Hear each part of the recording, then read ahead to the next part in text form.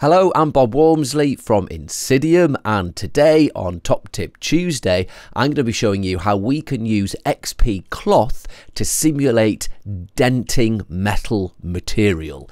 This is a really, really nice um, effect. It looks really cool, um, and it's pretty quick and simple to set up and simulate. So, without any more delay, let's get that clock started and we'll begin.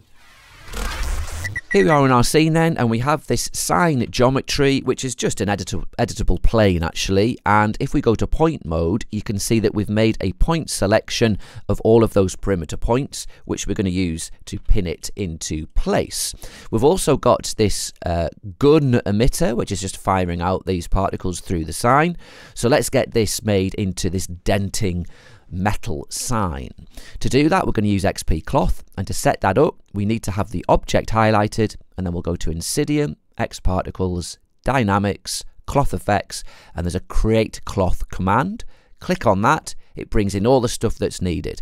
The sign now has a cloth tag on it, We've got a constraints object for particle-to-particle collisions, a gravity, a cloth modifier, and this new emitter. And if we go forward a frame, you can see that, look, that new emitter has been set up to emit one particle for every vertex of our object. If we go to that new cloth emitter, let's go to the display tab, and let's just change it to circle display so we can see how big those particles are. Because by default, it is set up so these particles are all slightly intersecting. For most cloth simulations, that's what you want. In this instance, though, we don't want them intersecting whatsoever. So to change that, we'll go to the cloth tag, to the advanced tab, and look, by default, we have set particle radius on. If we switch that off, it just uses whatever radius you've got set in your emitter. This will be the default 3 centimeters. Let's see how that looks. Yep, look, so that's great. So they're almost intersecting, but not quite. And for our dents, that is going to work perfectly. Right, we can make that invisible now.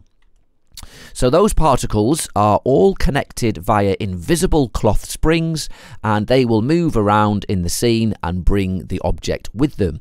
And if we hit play, it's going to fall out of the scene and that's because our cloth particles are being dragged down by this gravity. So let's pin them in place. We'll go to our sign to the cloth tag and in that same advanced tab we can activate pin, drag in our selection and now those outer points, those particles have been pinned in place and now yeah look we're getting this. Let's make the gravity invisible. And you can see because of our constraints that were brought into the scene, our gun particles are knocking into our cloth particles and making it ripple. Now we don't actually want our cloth particles to be pulling down like this, so we can just say don't be affected by the gravity. Let's go to the cloth emitter, to the modifiers tab, drag in that gravity to disclude it. Okay, great. So this is looking good. And the springy constraints connecting those particles are kind of springing back into place, giving us this rippling. But we don't want them to spring back into place, we want them to dent. So we do that by going to the cloth tag, the cloth options, and look, we have a plasticity setting. So this means that if our constraints have enough force exerted on them above this amount, 1.1, they will become plastic and not be able to spring back to their normal condition. So let's just see if we're getting anything. Hit play. Yes, so look, these ones that have had a lot of force uh, applied to them haven't been able to spring back, and we're getting our dents. The problem is that the energy is rippling right the way through the rest of our cloth, so it looks like too thin sheet aluminium this for our sign. So the way that we can get rid of that energy is just to dampen down the simulation. And we can do that, look, by just increasing this dampen amount. Let's put it up to, say, 34%, hit play, and yet, look, brilliant. So we're getting our dent, we're getting a little bit of that energy coming through, but then it's damping down. Brilliant. That's looking really good.